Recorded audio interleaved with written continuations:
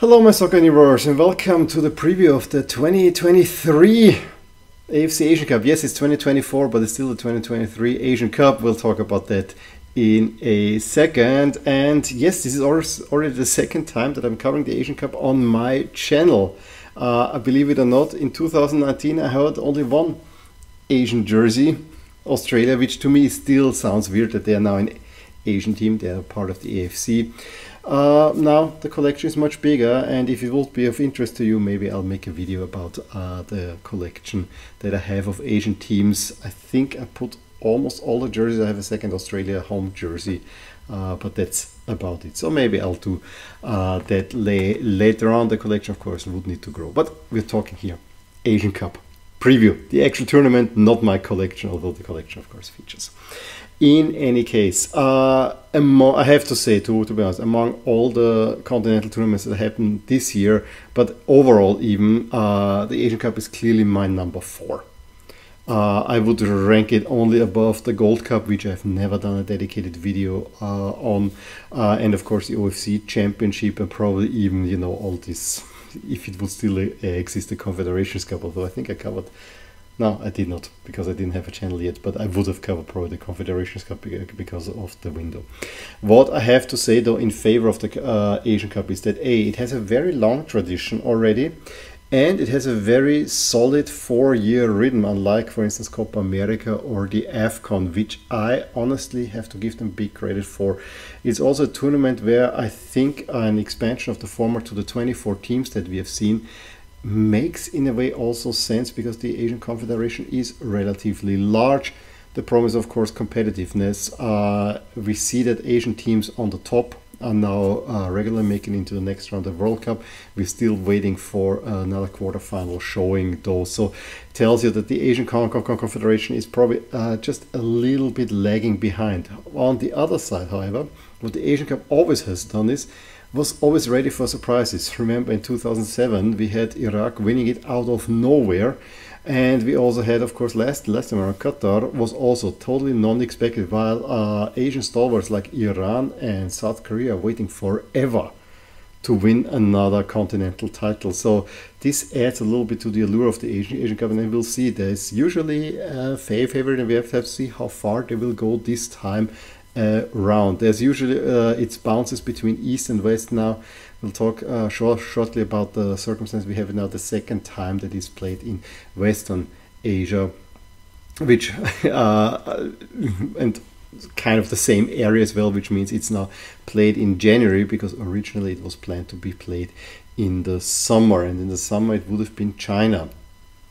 Uh, again, one would say, and would, China is very much a net, natural choice, however, due to COVID and the zero COVID policy, it was pretty clear that China cannot hold up the commitment, so they had to re, they asked for um, further candidates to host the Asia, the Asian Cup, and uh, it was a short process. I remember at the end of the last World Cup, uh, we did not really know yet who was the host.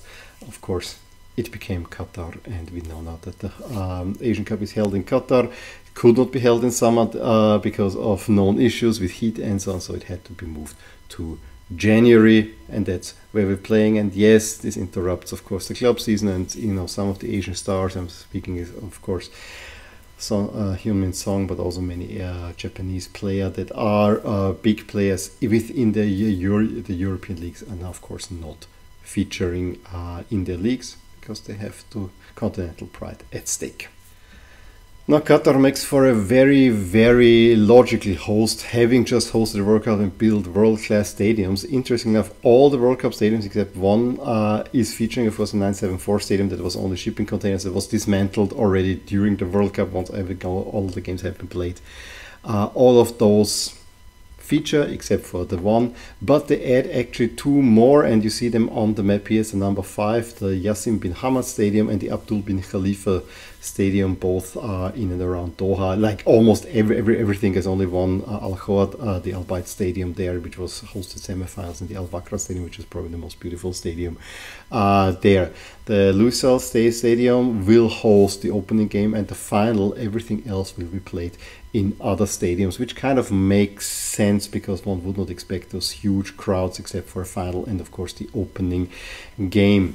uh, the teams that have qualified here. Um, I show you here the uh, the pots. We see, of course, host Qatar, um, Japan, Iran, South Korea, Australia, and Saudi Arabia. China, as the original host, have also qualified. Uh, as, as well, we see Iraq, UAE, Oman, Uzbekistan, and Jordan, uh, which have been regulars at the Asian Cup. We have then in pot three Bahrain, neighboring nation, of course, uh, Syria, Palestine, uh, I think a third successive time, Vietnam, Kyrgyzstan, um, and Lebanon. And in port four, India, who actually made quite a dent last time around, Tajikistan, a newly uh, the first uh, newcomer or the only newcomer, Thailand, Malaysia. Uh, Malaysia, I think, is the first time since they hosted. Uh, same thing goes for Indonesia. Uh, and Hong Kong is uh, there also after 54 year old absence. And while one might dismiss Hong Kong as really small, there was they had a test match very recently where they beat China 2 0. So that's a big one.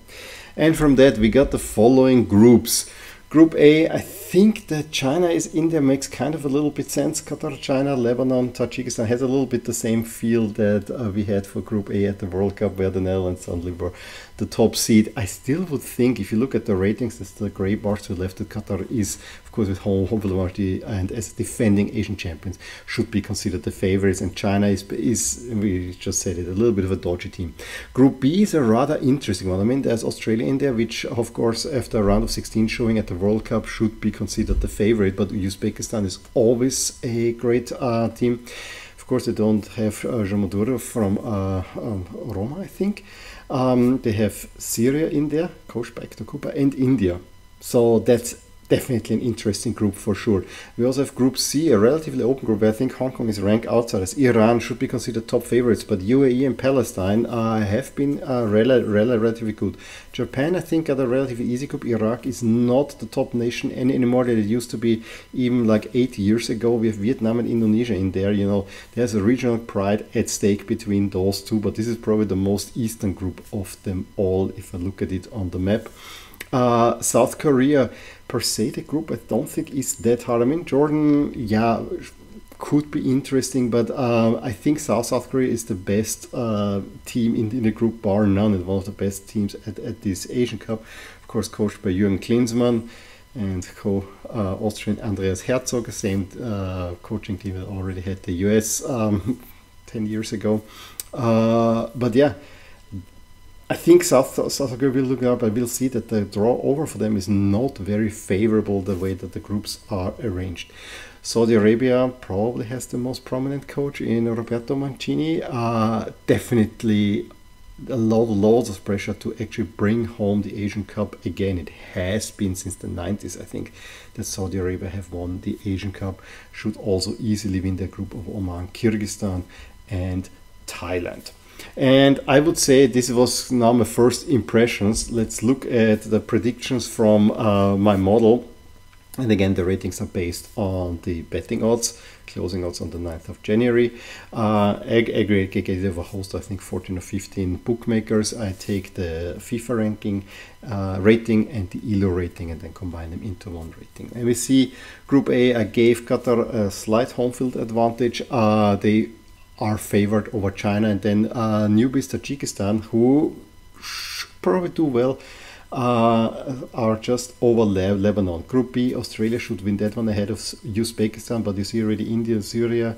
Mm, could be tied, but it should be Australia and Uzbekistan also to do it. Uzbekistan is a um, team that regularly qualifies out of the group, group stage, but uh, making a deeper run, as they sometimes on youth level, uh, that is what we're looking forward to. Iran, the UAE, and Palestine ahead of Hong Kong, uh, also to no one surprise, uh, Japan, Iraq, and Vietnam uh, is also, but you know, you see there's already a drop. Japan really clear favorites, then Iraq clearly second, and between Vietnam and Indonesia, it's a little bit closer. South Korea, Jordan, Bahrain, and then uh, Saudi Arabia, Oman, and Thailand coming out of Group F. Um, just by the expectations, the best four teams should be Palestine, Bahrain, Syria, and Thailand, with Tajikistan and Vietnam missing out, but you know, it's just marginal uh, points you see there. Uh, there's almost no difference between Syria, Thailand, and Tajikistan, Vietnam, of course, are not expected to make many uh, points in the group with Japan and Iraq, where they're clear outsiders and relatively level in Indonesia. Given that it all goes like that, this is how the bracket would look like, and this is probably the most in interest part. And it's always hard for me to gauge a 24 team tournament um, because you know at the World Cup with 32 teams or with 16 team tournament, if you know how it's set, it's set up, it's usually very easy. It's not so easy with a 24 two tournament because there's a whole lot more mixture happening.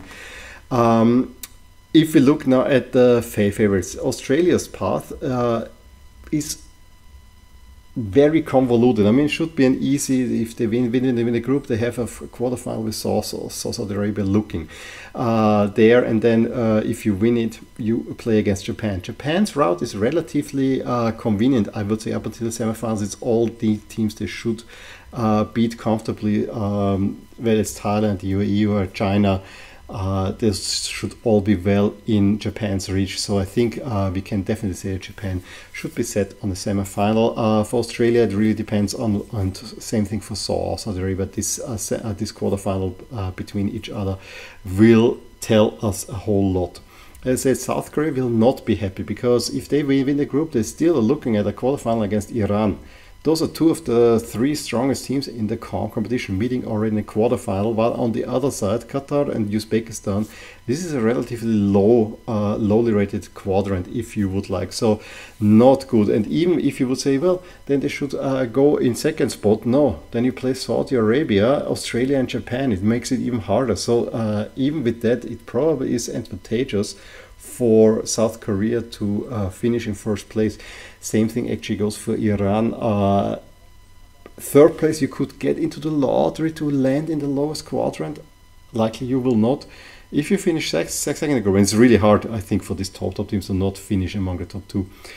You may play China, you have another quarterfinal, but then you play Japan, and I think you'd rather play South Korea than Japan. So uh, it's very, very weirdly set up in that sense um, and very favorable for the hosts. I think Qatar has definitely semi-final in them, but same thing will go for Uzbekistan. My model, if it all goes, that always the favorite moves on, says they will have a Japan-Iran final, and South Korea will be exiting at the quarterfinal stage, as will Saudi Arabia. And this they've invested in two big name coaches. This would be huge disappointments.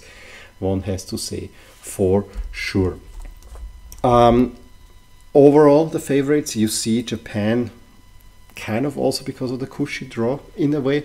Uh, Cushy, you know, you have a relatively clear route to the semifinals. Uh, that's why Japan is relatively riding high, had 24% chance of one in uh, four chance. Iran and South Korea, yes, they're on collision course. That's why uh, they're much closer. Although the ratings, yes, Japan are the clear favorites, but the ratings are not uh, as disjointed as uh, the overall winners would say. Uh, and that's also the reason why Australia is kind of stuck there. So we have the top four Japan, Iran, South, South, South Korea, and Australia.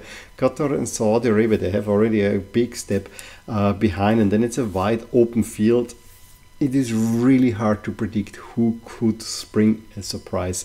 Uh, I personally would love if India could move on, uh, given their draw. It is unlikely. I would also like to see that you know one of those Vietnams and Indonesias that uh, that have shown that they have potential, that they once move a little bit forward. Um, let's see. China has always been a team that I wanted to uh, at one time to win the Asian Cup, but I don't think it's China's time at all this time around. I think it is more that we will have an uh, Western team uh, going, so the Arabic Peninsula. I think they. I would expect some uh, strong showings there. Also, don't discard there are many Indians living in Qatar, so they will be well supported as well.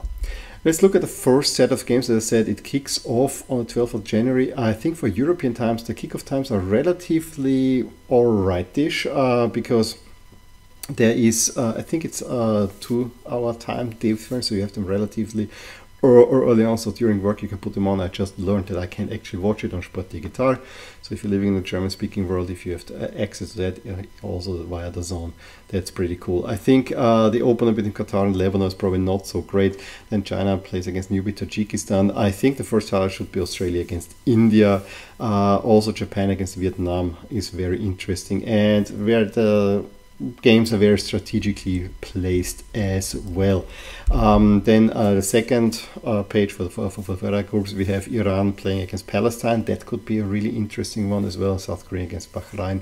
Uh, although, at, and then Saudi Arabia against Oman is also kind of a top duel there.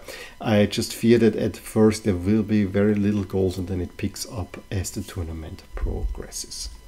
So yeah, that was it from me previewing the Asian Cup. Um, as for the coverage on my channel, I am planning to give you an update after every round played. Uh, you know, because we have also other stuff going going on. I really want to do a jersey review uh, on the Asian Cup as together with the AFCON as as well. So look out for that. I hope I will find the time to do so.